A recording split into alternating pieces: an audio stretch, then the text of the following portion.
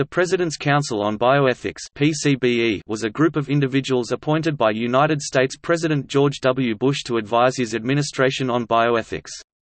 Established on November 28, 2001, by Executive Order 13237, the Council was directed to advise the President on bioethical issues that may emerge as a consequence of advances in biomedical science and technology. It succeeded and largely replaced the National Bioethics Advisory Commission, appointed by President Bill Clinton in 1996, which expired in 2001. The members of the Council were appointed directly by the President. The President also chose the chairperson of the Council last appointed chair was Edmund D. Pellegrino. Council members, totaling no more than 18, were appointed for a two-year term, after which time they could be reappointed by the President. Individuals appointed could not be officers or employees of the federal government. Executive Order 13237 was renewed in 2003, 2005 and again in 2007.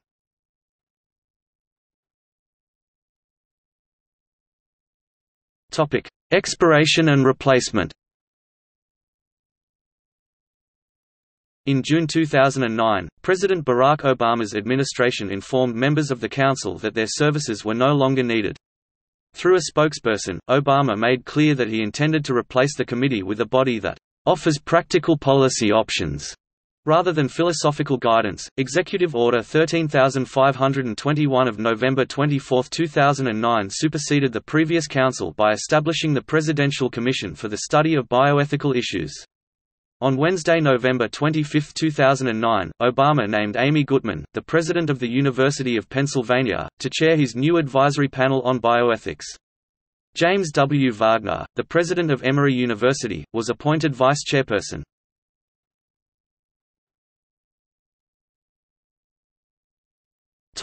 Criticism Critics have questioned the motives and goals of the PCBE. Elizabeth Blackburn, who was dismissed from the commission, co-authored an article, citing examples published by other members, suggesting that it was set up to justify President Bush's positions on stem cell research and abortion, writing, Our concern is that some of their contents may have ended up distorting the potential of biomedical research and the motivation of some of its researchers. Bioethicist Leslie A. Meltzer accused the Council of wrapping political and religious agendas in the guise of dignity, and described them as largely Christian-affiliated neoconservatives, philosophers and political scientists rather than bench scientists.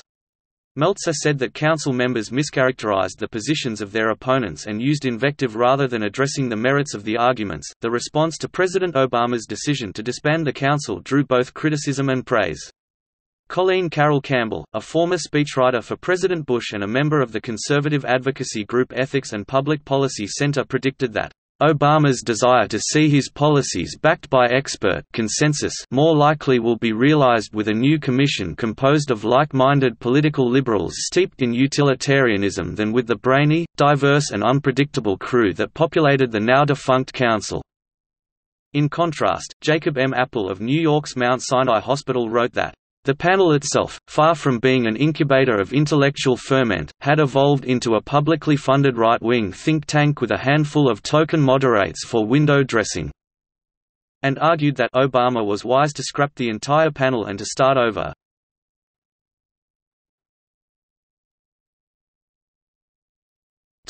Members and staff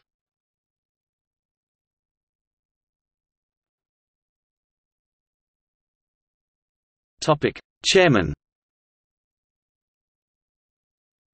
Edmund D. Pellegrino, M.D. Chairman 2005 to 2008. Leon R. Kass, M.D., Ph.D. Chairman 2001 to 2005. Topic: Members.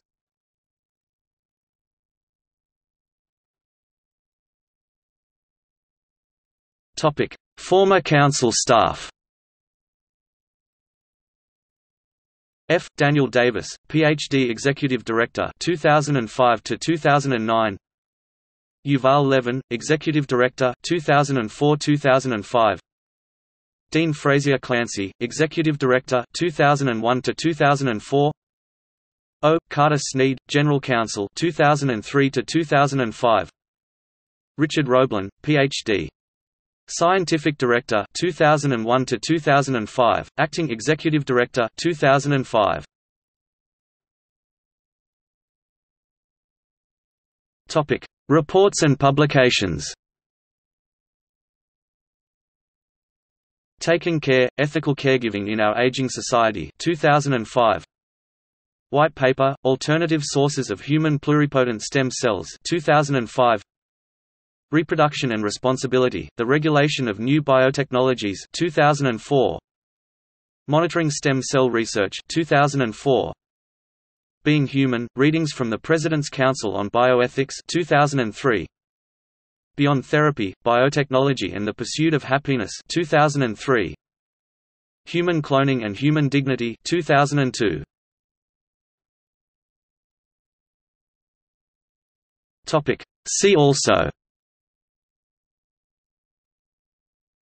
Bioethics Biotechnology Cloning Comité Consultatif National d'Éthique, a French governmental advisory council on bioethics issues created by François Mitterrand in 1983 Eugenics President's Commission for the Study of Ethical Problems in Medicine and Biomedical and Behavioral Research US. 1978 Stem cell research